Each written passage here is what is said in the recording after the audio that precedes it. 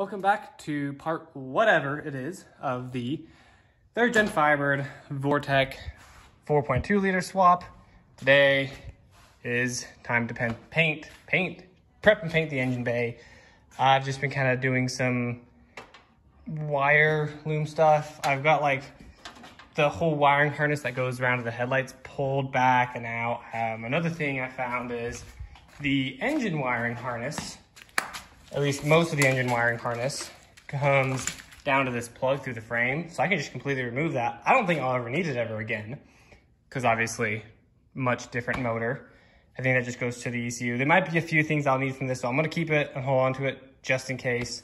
And there's probably a few engine related things on the other harness, but regardless, uh, here's like a main disconnect for the rest of the wiring harness here working. I've got like some brake lines moved. I've got, I'm getting the speedometer cable out. The hood latch cable broke. It was already breaking, but it finally broke. So I need to get a new one of those and also get that one pulled out. Point is, I'm doing a lot of just getting stuff pulled out. I gotta remove this, gotta remove this thingy over here. But uh, long story short is, GM actually made the wiring harness on this fairly easy to remove, which is very convenient for me. And it should make, and it seems like the, uh, the engine harness is much more separated from the body harness, unlike the Z31, that was all integrated all together. So thank you Nissan for that. But GM appears to have been doing a fairly decent job at separating the harnesses for the most part. It's not perfect. There's a few little odds and ends here that are kind of weirdly mixed, like the RPM gate, like some of the distributor stuff is on the main harness. I don't think there's anything for the body on the engine harness though, which is convenient. Long story short is I'm getting this stuff pulled. I'm gonna get the speedometer cable out. Next time you see me we will be prepping for paint. All right, it's been about maybe an hour and a half, two hours, and I have gotten so much stuff removed. I've got the whole main harness pulled, the engine harness I got out. You gotta, um, I had to, here, let me show you. You see, big harness is gone. I had to unplug it from the ECU somewhere up in there. I think you may have seen it. Uh, I also had to pull the gauge cluster to get the speedometer cable out. The next step is going to be to start sanding it or like wire brushing it. I do have that paint stripper. I don't know if I'm gonna use it or not because I feel like it would take way too much to do this whole thing. So I may just hang on to it for future projects. But I think another concern, this rust area. Now, this is where the battery tray is obviously. It's actually very structural rust. So what I might do, clean it up and then use some rust converting, like primer or something that converts rust into a non-corrosive metal Maybe, I don't know. In theory, the right thing to do is to cut it all out and replace it. I don't want to do that. And this car is not, this, this, this doesn't need to be perfect. There is like a little bit down along there that's kind of rusty and there's a few areas where there's some surface rust on the firewall and stuff and like down in there. But I think our goal is just to get it close enough. I mean, after all, this then the thing about this car is gonna be perfect. It's actually a fairly clean car for an 85 that sat in the field for 20 years. I'm getting sidetracked. Point is, I'm gonna start just sanding all this down, getting it knocked down to the point where I can put on primer and stuff. The, uh, the first thing we're gonna paint is like basically all of the uh, upper half of the firewall and the engine bay and stuff. And once we get to the firewall, then I'll jack the car up and do the transmission tunnel with some like undercoating just to protect it. And then after that, I don't know, we'll go from there. So when you see me next, we'll probably, I'll probably just do a quick overview of all the sanding I've done when I come back. And then after that, we'll start painting. So see you then. All right, so I've been working on prepping it for the car for paint and basically even after scuffing everything up, the, uh, the paint stripper still isn't working. instead of wasting a $20 can of paint stripper, I'm just gonna save it for a future project. So what I'm gonna do is I'm gonna get everything cleaned and kind of roughened up as best I can. And then I've got some primer, some rust reforming primer that converts rust and some regular matte back black paint and also some undercoating that we will be using for under the frame rails and the transmission tunnel and whatnot.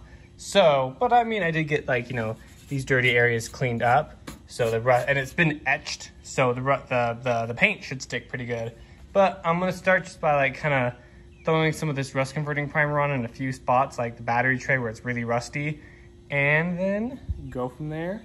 The, uh, the video is probably just gonna be kind of cut between me showing different areas painted and then we'll do a before and after afterwards. So anyway, yeah, I'm gonna do this now. All right, so I'm doing a bit of a test patch here on the battery tray. Now obviously you can still tell that uh, it is rust due to the, you know, cancerous look of it. However, this primer converts it into a non-corrosive metal. And so with the battery and stuff all up in there, it should look good. But uh, it's hard to see anything, but you can see kind of where the division is right now. Obviously, this whole engine bay is going to be matte black, but I'm just doing a bit of a test patch right here just to kind of get the rusted areas covered. But I think it should look pretty good. So I'm going to kind of just start going through doing all this, and I'll just kind of update you guys along the way. So just kind of laying down some more uh, test patches and as you can see, got this other side done also all up along that seam there. And uh, definitely think this should work pretty decently. But uh, obviously still a lot more that needs to be done. But I don't have to get a lot more of this stuff and it's expensive, so that's nice. But I don't know if I'm gonna be doing this for the whole thing or if I'm just gonna do the more kind of rusty spots, I don't really know yet. I kind of wanna just do the whole thing with it just to be safe, but it's also expensive. So I might do kind of some half and half here and there of the rust stuff in the rusty areas and then just regular matte black in other areas. I don't know yet, but maybe I'll do a quick test to kind of see how they blend together and go from there. All right, so quick update. Uh, so I basically, what I did for this whole section here is I sprayed the rust converting primer on the areas that were rusted and then just did the rest with the regular matte black paint. And I think that's what the, what I'm gonna do, just because the matte black the matte black paint is cheap. The rust converting stuff isn't as cheap. It's like double the price. So I'm gonna go through and like paint all the rust areas with the rust converting stuff, and then do the regular matte black on top of it. And then I'm basically what I'm gonna do is I'm just gonna kind of go from here, kind of do this right side, and then kind of work around and just kind of work in a circle maybe, or maybe I'll kind of go back and forth like I tend to do.